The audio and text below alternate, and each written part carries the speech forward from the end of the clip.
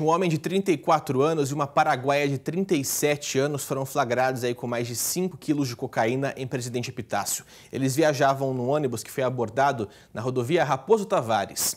Os policiais encontraram os tabletes de cocaína no fundo falso de uma mala que a gente está vendo que pertencia ao casal. O homem contou que levaria a droga até a capital paulista. Eles foram encaminhados para a delegacia da Polícia Federal de Prudente e aguardam audiência de custódia.